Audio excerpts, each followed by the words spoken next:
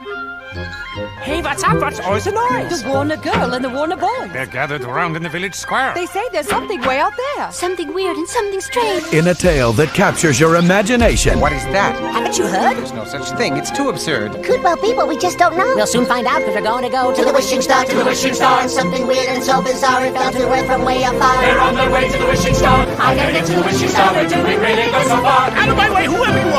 Steven Spielberg presents The Animaniacs in their first full length feature Wakko's Wish, coming January 2000. Maybe we should have kept this our little secret.